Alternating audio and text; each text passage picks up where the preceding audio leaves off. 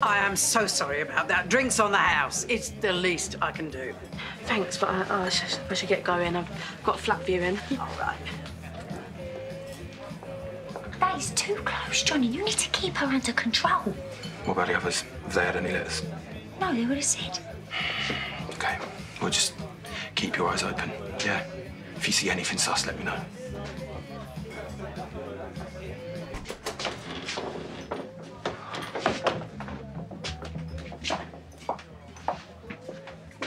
What was all that about then?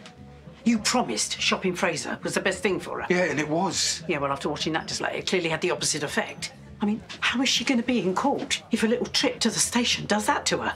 She'll be fine, okay? I'm gonna coach her. Yeah, if you can keep her off the bottle long enough. I mean, what are you not telling me, Johnny? You're just gonna have to trust me. I trusted you when I first brought you here. Do not make me regret my decision, because I can just as easily have you sent away again.